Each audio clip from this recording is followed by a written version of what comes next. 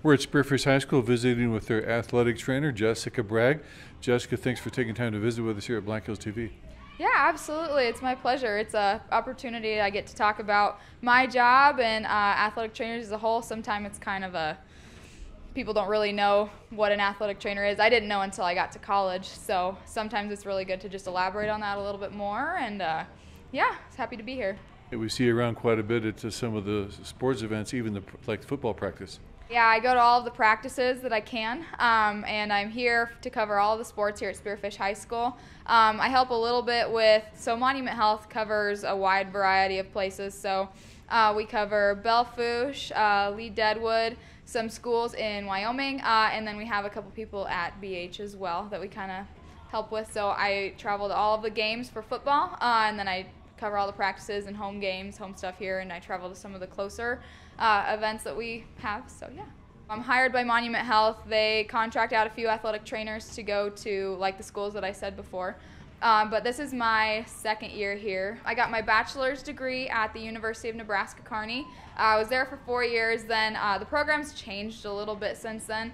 But so back then it was a four and two type program. So you go to school for four years, you get your bachelor's in athletic training and then you have to go to a master's degree for two years. So i went to west texas a&m to get my master's degree in exercise science after i went to unk for a couple years or for four years to get my bachelor's degree. So i was at um, west texas a&m for two years. I did research there. Um, i got my master's degree. Um, i also went down to san angelo for a year.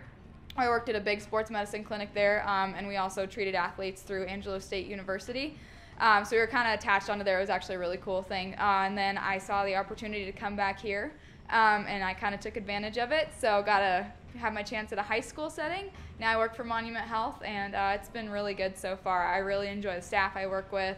Um, and just the opportunity to work with these kids is pretty cool. So it's a completely different setting in a different area, uh, but it's it's really fun. The kids really make it worth it. So athletic trainers specialize in the prevention, care, and treatment of orthopedic injuries, um, and so that kind of encases everything that we do with the athletes. Um, that we deal with at the high school level, um, at the collegiate level, and then also at the uh, rodeo level that we cover. So we cover all types of rodeos from high school rodeos to professional rodeos in our area um, and to some bigger ones like the Black Hills Stock Show and Rodeo, the Belle Fourche Roundup during the summer.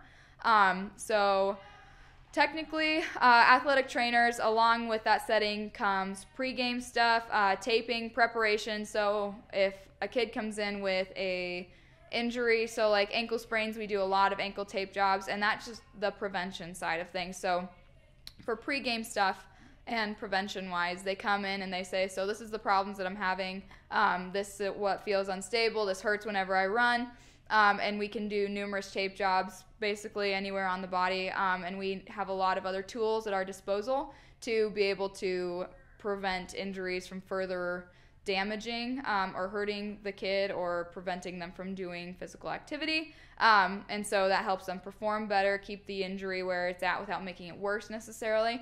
Um, and that's the care. And then afterwards, we manage it. So we do stuff like physical uh, or some PT.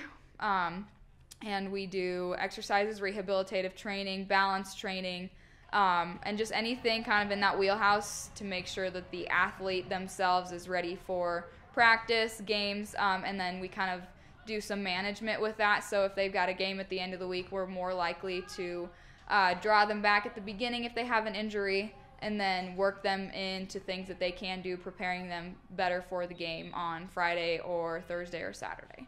Um, so that's kind of what we do as well. All right, Jessica, thanks for joining us here on Black Hills TV. You're welcome. It was my pleasure. Thank you very much.